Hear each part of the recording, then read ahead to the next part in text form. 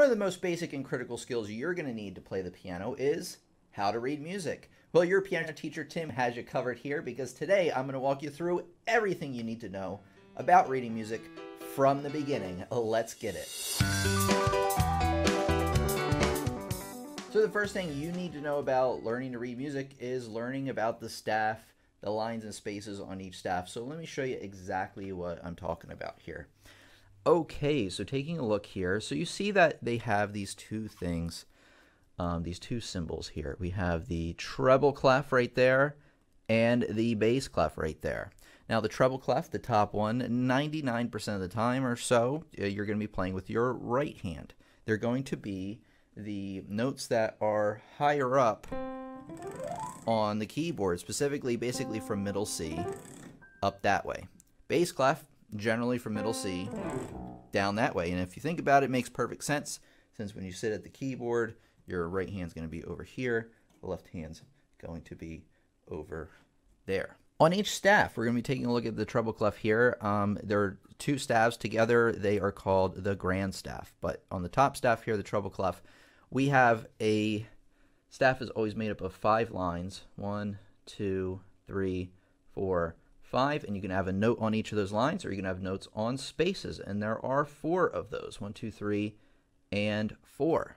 Now, depending on which line or space a note falls under, it's going to tell you what note to play, either A, B, C, D, E, F, or G, but it's also going to show you on the piano where to play that note. For instance, if I had a note right there, that specifically on that second line would be right here on the piano. And don't you worry, I'm going to teach you how you figure that out. So let's get started. What I recommend you do is memorize the lines and spaces for each clef from the bottom to the top. You always want to be counting from this bottom one to the top because if you do it the other way, you're going to get it backwards and get it wrong, most importantly.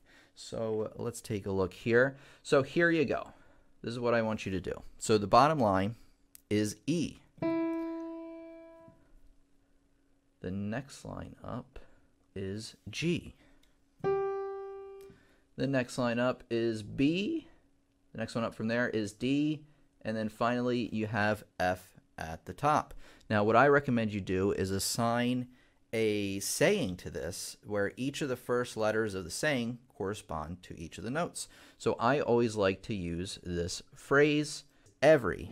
So E for every, good, next line up, boy, that middle line, deserves, the next line up, and then fries or fudge or whatever um, word that you can think of that has an F in it. So every good boy deserves fudge.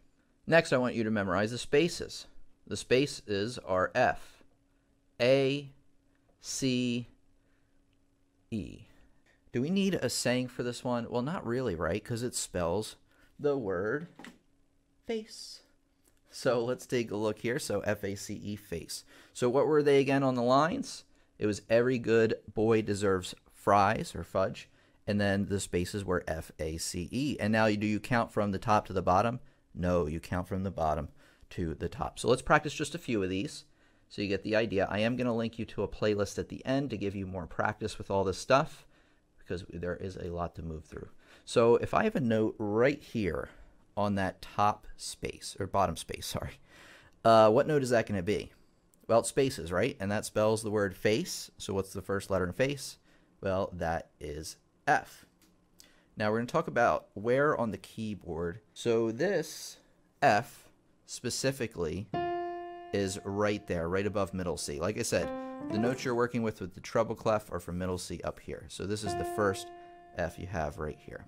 Let's move the note down one, see what happens. So if I move the note down one on the staff. It also moves the note down one on the keyboard. Make sense? So if you have F here, well, this one down is going to be E. Or you could use the saying, every good boy deserves fries, um, with E being right there. So that's the first E above middle C. So wait a second. How come treble clefs for middle C up here if it's not on the staff? Well, they add these things, we're going to talk about this later in the lesson, called ledger lines. So this is actually where the first note in the treble clef um, is outside the staff. So you are going to see notes here, here. You can find a couple below middle C, but pretty much from middle C up into the staff and then beyond. Okay, so if that's middle C right here, then this note right here is going to be one up from there. It's going to be D. And that's why this first E is right here, because you're counting up from middle C right there. Okay, let's do a couple more of these. How about if I move the note to here? Well, that's the third space up on the treble clef, so that's C. That's the third letter in face. And is it going to be right here? This is middle C, by the way. Uh, well, no, right? Because middle C had to be on that ledger line. So if I have the ledger line right here with C on it, and this note's way up here, well, you can see the big gap there on the sheet music. That gap is also going to exist on the piano. So it's the next C, what we call an octave above, meaning it's one, two, three, four, five, six, seven, eight notes above. How about if I have a note all the way at the top? Well, that's the top line. So what's the saying? Every good boy deserves fries. So right here is where that one's going to be. And if you think about it, it can't be here, remember, because that's where the first space is. And if you think about it, that's a lot closer to middle C, right there.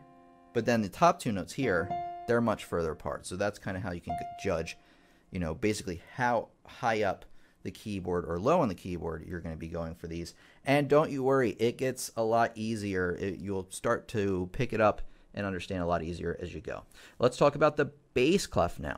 Now, unfortunately for us and all students, the treble clef and bass clef do not match. So the lines of the bass clef are going to be different than the treble clef. Spaces, same thing.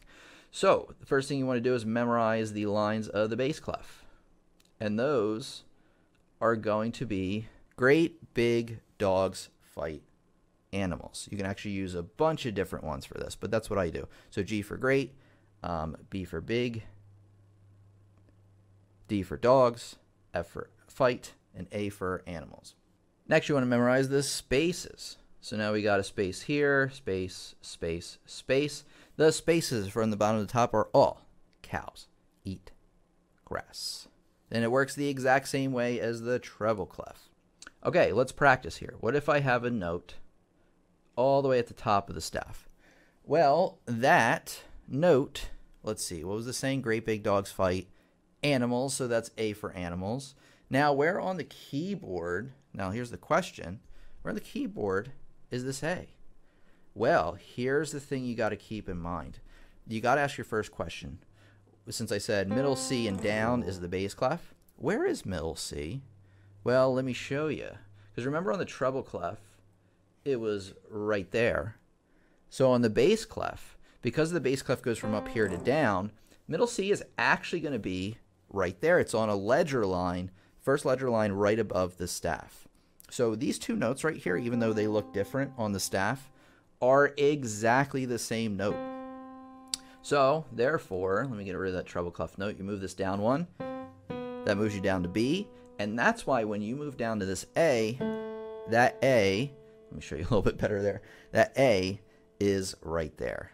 How about right here? Well, that's great big dogs, right? Now, where is that D? Is this D right here? No, it can't be since middle C is right here and we're working our way down this one.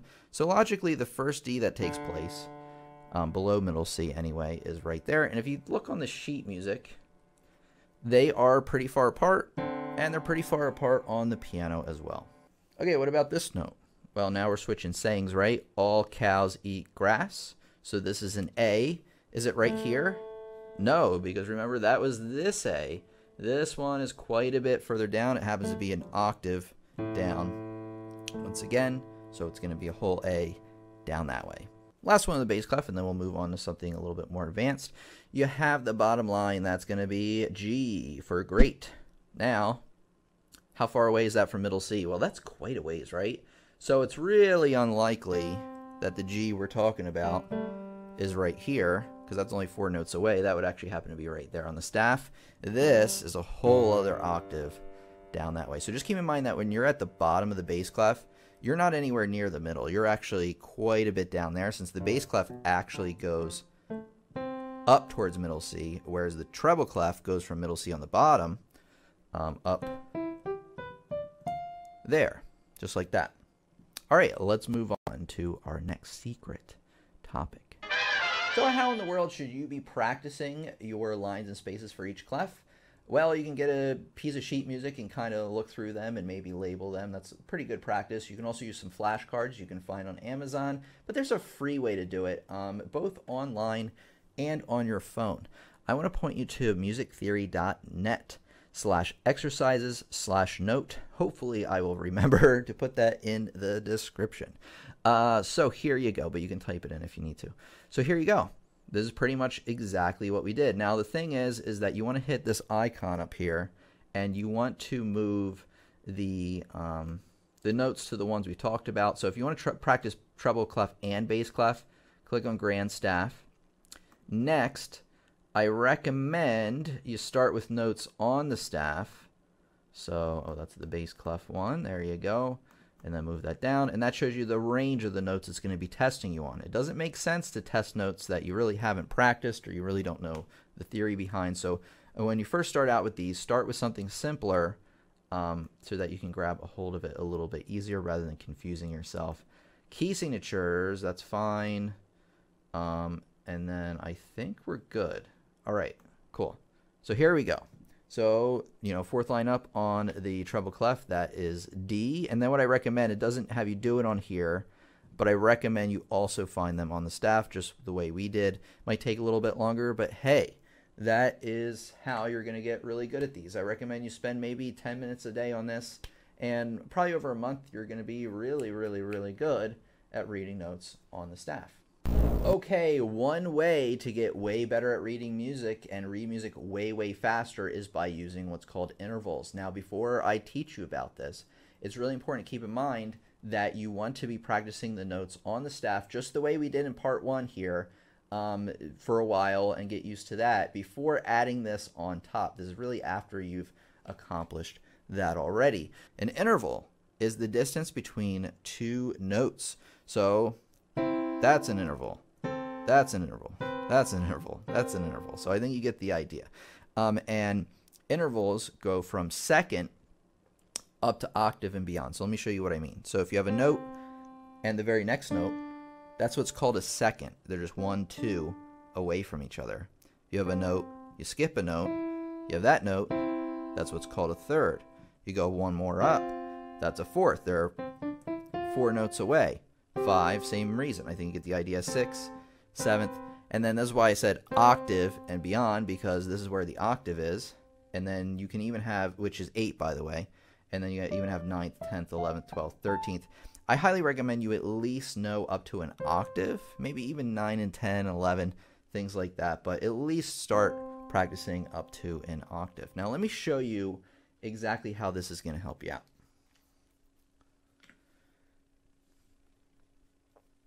All right, let's take our treble clef here, and let me write two notes here. Now, I can read those two notes individually, which because there's two of them isn't too hard. Um, so I know the bottom line's E, and then that next line up is G. You know, every good, just along with our saying. So you can hit E, you can hit G. Now, if you notice, that took a while, even though I knew it right away, it took a while for me to get there. What's a lot faster is looking on the sheet music and determining how far apart these intervals are. And because I know my intervals so well, I'm going to walk you through them. I know that that's a third right away. So I really only need to read that bottom note, E, and just know that that's a third away. It gets more and more useful the more notes you have. So let me walk you through all the intervals on the sheet music here. So second, seconds are so close together that they actually go side by side, you know, once you get there. So that's the only one like that. Then you have a third, that looks like a stacked snowman. So you just have a line, a line. You can also have them go from space to space. It doesn't really matter um, so long as they have that even stacking right there. Let me bring it back to where we were at. All right, what if I move this one one up? Well, since the other one was a third, this has to be a fourth. So E to A. So you'll so they won't match. You have a line and then a space um, with maybe like a little bit of a space in between here. And that doesn't matter where it happens on the piano. You can start with a space down here, and the top one will be aligned. But they're not too far up. Like that would be a sixth, that would be an eighth. Um, so there's a fourth right there with just a little bit of a, a gap in there. Okay, fifth is when you basically have a snowman without a middle. Um, so you basically have a space, no space, and then another space. Well, what if it falls under a line? Well, like I said, it doesn't really matter. It's still a fifth. So you have line, no line, and then another line. So there is number five. Let me show you number six here. Number six is just one more past that, so they won't match. So if the bottom one's a line, top one will be a space, bottom one's a space, top one will be a line, quite a mouthful. So you notice that there's a much bigger gap here than there was with a fourth, because a fourth was down there, whereas a sixth would be up there. It's easy to get six and fourth mixed up. You'll get the hang of it. All right, seventh is when you move up one more. So you basically have line, no line, no line, and then another line. Uh, same thing if it starts on the space. You'd have space, no space, no space, and then another space. And then the last one I'm going to go over with you right now is the octave, the king of all intervals. So you got E, um, e on the bottom, E on the top. So the octave will always match, obviously. And but the notes um, in terms of lines and spaces do not match. For instance, you have a line on the bottom, top note will be a space, and then vice versa. And if you notice, the gap here is quite large. It's much larger than it was at a sixth, which was right here, or a fourth, which was right there. So a quick tip for you is that all even intervals don't match. So that's seconds, fourths, sixths, and octaves. So here you go. And what I mean by don't match is that if um, the bottom one's a line, the other one will use space, and vice versa. So you know that that's an even number interval. You know that that's an even number interval because line space. You know that that's an even number interval. What about that one? That one is actually going to be an odd number interval. So odd number intervals, they do match. So if you have a line here, the other one's going to be a line. So odd, odd, odd, odd, and they got even, even, even, and even, just like that. Okay, let me show you a quick practice example here on the staff and on the keyboard to make sure that we got the concept. Okay, I have three notes here. Like I said, this technique is great for uh, many notes at the same time. So I can read these notes individually. Okay, that's an F, you know, that's the next space A, and then the last one is an E. So that takes a little bit of a while, but what I can do is I can just play the bottom note, F, and then I see that that's the beginning of a stacked snowman. They, they match, so that's an odd number interval. That's going to be a third.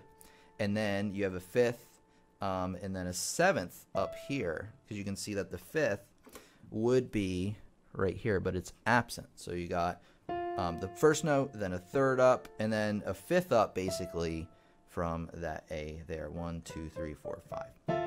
So I can do it really quick. Let me do one on my own really quick because as I explain them, it takes more time. But let me do one like kind of complicated here, and then once I play it, I'll walk you through it. It's probably going to be a terrible sounding thing, but here we go.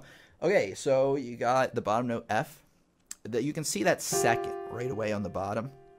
And then you can see between those two middle notes, the G and the B, that that's a third evenly stacked. And then from the B up to the F is clearly a fifth, which I can't play with one hand. So there you go. I could read them so much faster than okay, F, and then okay, what's the same for the next one, so on and so forth. Um, but like I said, you do want to get used to doing the sayings at first um, and then build up to this technique. Okay, now I'm going to show you how to practice these intervals. So let's take a look. I got another website for you. It's musictheory.net again, a slash exercises slash interval. And um, you can you can also find apps on your phone for this as well. Again, you want to go up to the little gear at the top. You want to select you know um, something that you're going to be familiar with, like the range.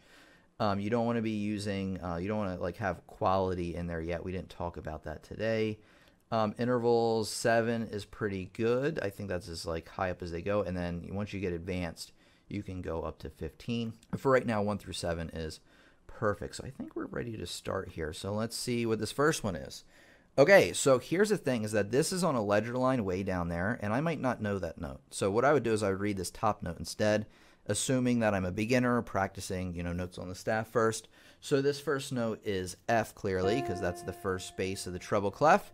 And then you don't have a, um, you know, there's an empty space there, and then there's another space. So if the top note's on a space, bottom note's on a space, Is it going to be an even number interval or an odd number interval?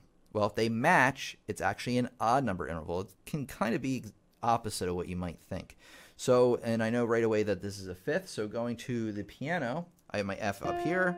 You're gonna, if you skip a note down here, that's a third, and then skip another one, there's your fifth. One, two, three, four, five. Just sounds just lovely. So I'm gonna click fifth, and hey, that was the right answer. It glowed green. What about these two? You got an F on the bottom, and um, you basically have a note on the top. So you have a space and, and then a line. They do not match, so that's an even number interval, and that one is a fourth. I'm just going to do two more here. Oh, that's the fifth again, the same one. And then this one, right? This one should be easy. This one is the stacked snowman, evenly stacked. That's a third. So go through and practice these. Um, once you learn how to read the notes on the staff and you feel proficient at that, then branch out to this and practice this for 10 minutes a day, maybe in place of the note reading. Now the thing is, is after you start practicing this, if you start feeling like you're you don't have the notes memorized anymore on the staff, go back and practice the other exercise I did with reading the notes separately. I mentioned earlier in the lesson about ledger lines, the notes that go up and below the staff. So let's talk about that and gonna give you some tips on how to master those. This is something you should practice after you practice notes on the staff after you practice intervals because the intervals will actually help you read the ledger lines. Let's take a look. Okay, so I mentioned before we have the bottom note E here. You move this down, you got C, there's middle C. And then it's like, all right, well, what happens when the notes get really, really low? What do I do? So this note's E. So let me write these notes out for us and see if we can pick up a pattern. Okay, so these four notes from the bottom to the top, I'm going to tell you right now, are F, A, C, E. G. Doesn't that sound familiar? It kind of does, right? F A C E spells face. Okay, so now we have these four notes. Let's see if we notice a pattern. I'm going to give you what they are, and we're going to figure out if we notice anything familiar. So these lines are E, or spaces, sorry. E, G, B, D, and then we have our first space on the um, on the treble clef, F. So therefore, the spaces going down off the staff match the lines on the staff. Of course, these will keep, take some practice. It's not something you're, that you're going to get super good at right away. Okay, so now we have the spaces going up off the staff. Now, let's see if these look familiar. You have F up here. Next one's A, C, E. So the lines going up off the staff are actually match the spaces on, on the staff. Now, let me show you how to do this technique with the intervals that we just talked about. Okay, let's take a look at some notes coming up off the staff in the ledger line. So this is where the intervals are really, really going to come into play um, because you can use them to your advantage. Let me show you what I mean here. Okay, so we have these four notes. You know what that bottom note is probably. That note, of course, is going to be F, because, right, every good boy deserves fries. And then take a look at these two notes. So F, and then you have this note right next to it, like that. That's going to be a second, right? They don't match and they're real close to each other. So second. So a second on the keyboard right next to each other. So you got F, then that next, the second note is G. Let's take a look between the second note and then that third note. So we have space and then another space. Well, hey, that's got to be an odd number interval, and they're still pretty close. So that's going to be a third. So you have F, G, B, and then another third between those last two. So you can use your intervals. This is why I told you to practice them to um, read notes much, much faster, even up off the staff. Let's do another, uh, let's go down below the staff, actually, see how intervals may be able to help us. So now we have these four notes. You probably know the first note's F, you know, first space of the treble clef. You're going down a third on that next one because it's space to space. And then you got these two notes from D to middle C. I already taught you about that one pretty good, so they're second away. And then um, let's take a look between these last two notes, which is going to be the trickiest. So if I just write this C right here, you can see that you have a, you have a line, you have a line that's empty, or so line, no line, and then a line. I said earlier that that is a fifth, and that is correct. So what you do is you play C, and then you just go one, two, three, four, five, and you can figure out right away that that note is F. Taking a look at the bass clef, we're just going to practice a few of these. So here are our four notes. We got the top line of the bass clef, that's going to be A, as you probably know. And then you got a line and then a space. So do those, is that an odd number interval or an even? Well, that's even, right? Because they don't match. Now, a second would be right there. This one's a little bit higher up than that. So we're talking about a fourth. So you can count up four on your keyboard. One, two, three, four. So our next note's D. So between the middle two notes there, you got D and then the mystery note here. Well, that's right next to each other, right? So that's just going to be a second above. You know that that's E. And then let's take a look here. You got the last note there, um, the first space above the staff. Um, so those don't match. We're talking about an even number interval. They're a little bit further away, so I know that that one is B. So the notes are A, D, E, B. Now, how should you practice your ledger lines? Well, go back to the first note reading um, exercise I gave you today because that one you just changed the settings to work on ledger lines. Let me just really quick show you how to do that just so you're not confused.